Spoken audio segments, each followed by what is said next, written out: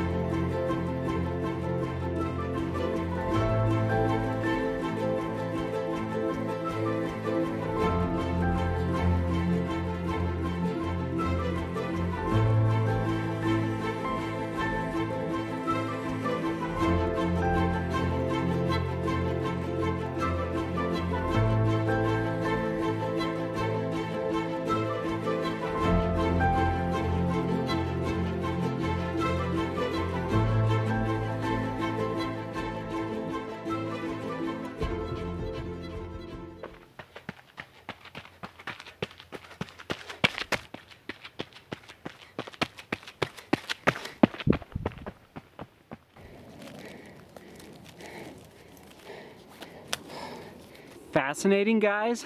Fascinating. Uh, okay, the question of the day is coming up real quick. Stay tuned. I just tested both both shoes, the Salomon S-Lab Sense 6, which I would basically place in the category of a cross-country spike. If, if you guys ran cross-country in high school, maybe college, it feels like a cross-country spike when you're wearing it.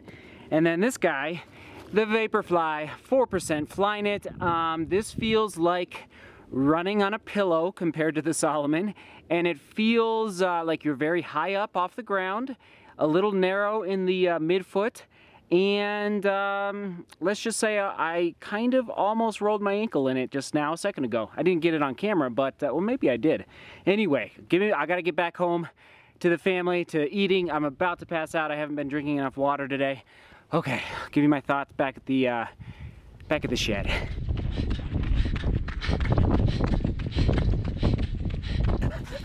Okay, you can translate down home. the bottom. I'm home. okay, the run was good. All right, true love. Let's see what you find. Okay, my eyes are closed. Your Where- kiss where do I go? like sweat on my lips. Okay. Oh, I'm so sorry. Look down. Yep.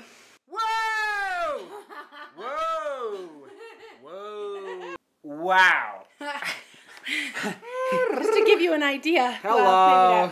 Hello. Isn't it beautiful? And where is Precious Michael? I was just talking about him to everybody, and they want to see. I dropped a hint to everybody about they want to see the high chair Oh yes. in oh, a minute Okay. with Michael in it, Oh yes. possibly eating food. Oh,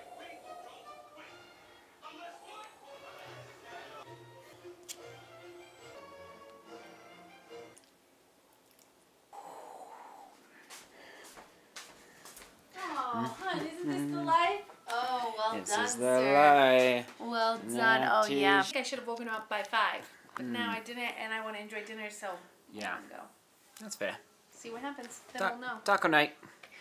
Oh, I need this after running and filming all those videos today. Oh my gosh. Oh man, Did you do three videos today? two. Still. I know I'm tired. Hmm. I'm tired. Hmm. Refuel time. Mm-hmm. Ooh.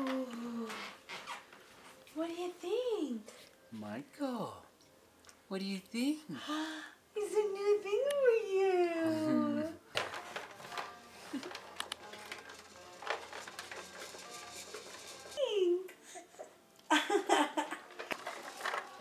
okay. Now wait a sec. You got a new high chair. What do you think? There's the new high chair. All right. Will he eat? Will he eat? That is the question.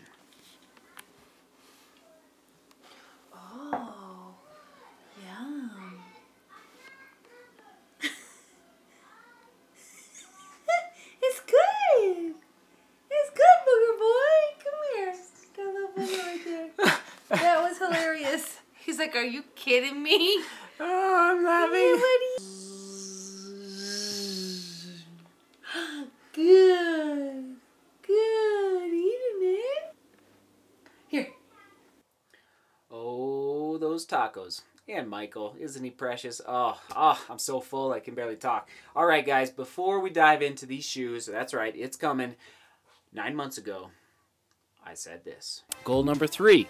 If I hit 400,000 vertical feet, I think I can reach number three. That is, win a race. I want to win a race. Remember in that vlog last year, I got lost with a mile and a half, two miles to go in a half marathon in Highlands Ranch. Boo! I was not pleased. The course was not marked well. So, goal number three is to win a race in 2018. That's right. I want to win a race in 2018. I've come very close, and in theory, I actually already have won a race.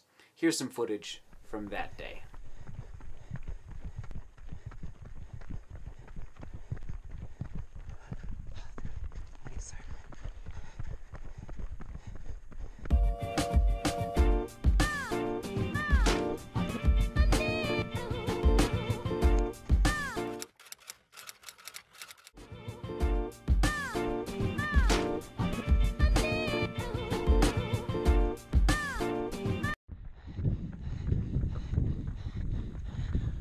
That was a 50K at Copper Mountain at 10,000 feet above sea level.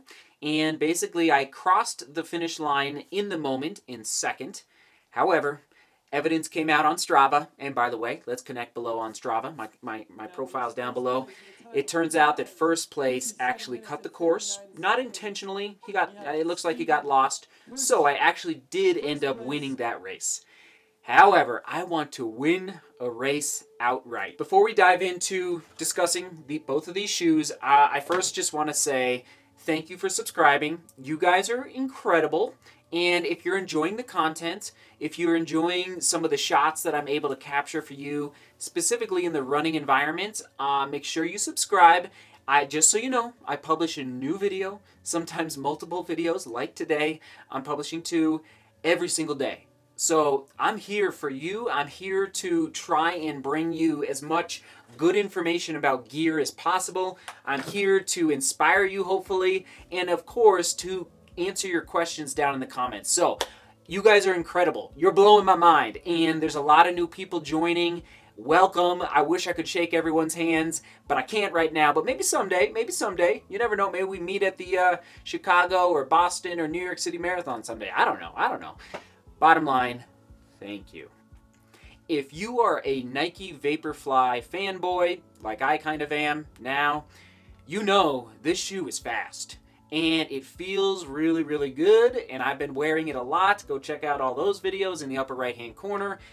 But it's a road shoe, it's not a trail shoe. And so today, I was literally putting it on on the trails and testing to see how it would handle on the corners and the uphill especially to see see this shoe has no traction. There's no lugs on the bottom.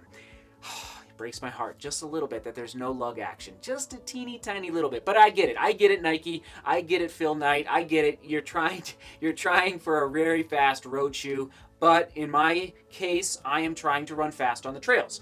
So in comes the Salomon S-Lab Sense 6 SG, which stands for soft ground, meaning it's designed for uh, running in mud and running on softer trails. And like I mentioned earlier, it feels like a cross country spike. It's a great shoe, fast shoe, feels entirely different than this shoe. And I will say that in the, I, I was practicing it over like a quarter mile part of the course. And basically, this thing felt amazing. The Vaporfly felt amazing. However, I was slipping on the corners. This shoe felt very um, slightly stiff, didn't feel as comfy, uh, and but the traction was there. So I felt fast. I felt ridiculously fast in this shoe, but this guy had the better traction. I don't know what shoe to wear. I don't know yet. I, I actually have, I, I honestly don't know. I don't know. I haven't come to, to a conclusion as to which shoe I should wear. Bearing in mind, I want to run fast. I want to win or attempt to win. And which shoe is going to get me across the finish line in one piece and the fastest. Capiche? So the question of the day becomes, which shoe do I wear in a half marathon on trails? Since I'm racing in about 12 days, that's right, type racing down below if you made it this far, and thank you for sticking around this long. It means a lot. It means a lot that you're caring about these videos, you're watching for so long, and you're commenting. And I am doing my best. I'm struggling a little bit, but basically morning and evening, I am hopping on the computer and answering your questions, dialoguing with you. So make sure you go back if you have time. I know you're busy, but if you have time, go back and check some of the older videos of the past five days, and maybe I answered your question or you know responded to your comment down below. So again, racing down in the comments, racing. That is the keyword of the day. 12 days to go. All right, now at the end of this video, there's gonna be an end screen that pops up that connects to another video about this Vaporfly, so stick around for that. It's coming up in like 15 seconds. Seek beauty, work hard, love each other. See you tomorrow.